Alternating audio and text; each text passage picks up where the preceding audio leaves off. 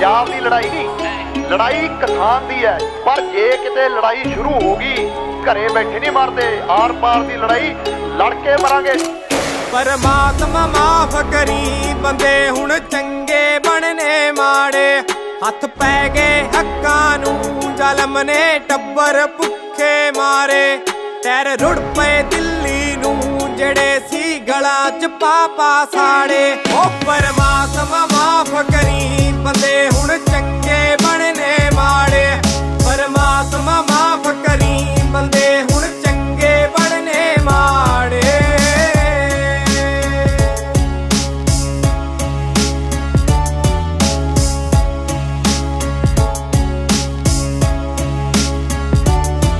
ਪਿੰਡ ਸੱਥਾ ਖਾਲੀ ਹੋ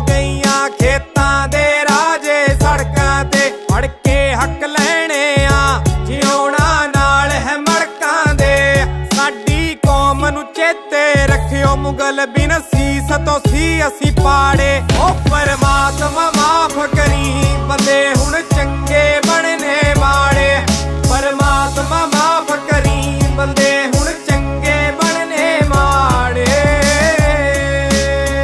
ਪੰਜਾਬ ਦੀ ਲੜਾਈ ਨਹੀਂ ਲੜਾਈ ਕਿਸਾਨ ਦੀ ਹੈ। ਪਰ ਜੇ ਕਿਤੇ ਲੜਾਈ ਸ਼ੁਰੂ ਹੋ ਗਈ ਘਰੇ ਬੈਠੇ ਨਹੀਂ ਮਰਦੇ। ਆਰ ਪਾਰ ਦੀ ਲੜਾਈ ਲੜ ਕੇ ਮਰਾਂਗੇ।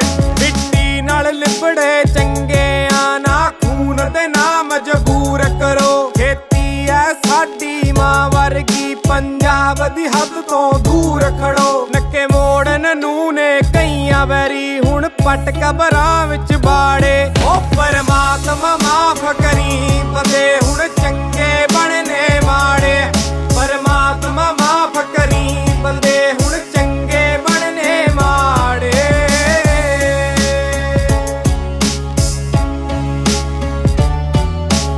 ਗੁਲਾਮੀ ਦੇ ਇਸ ਨੂੰ ਨਵੀਂ ਪੀੜ੍ਹੀ ਨੇ ਐ ਖੋਲਣਾ ਪੰਜਾਬ ਦੇ ਤੱਤੇ ਖੂਨ ਅੱਗੇ, ਵੈਰੀਆ ਗੂੰਗਾ ਤੇਰਾ ਬੋਲਣਾ।